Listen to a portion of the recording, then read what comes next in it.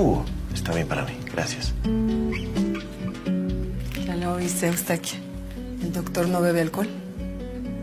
Qué grata noticia en este lugar en el que todos toman como condenados. Ahorita mismo le preparo su juguito de tamarindo de lo más sabroso. Siéntese, doctor.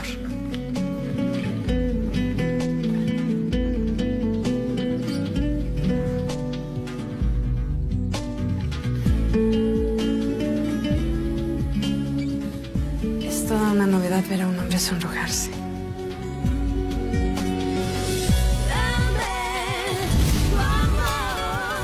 Una vez más, quiero en brazos volver a empezar. Calor, ¿verdad? Mire, doña, yo quería aprovechar que estaba aquí.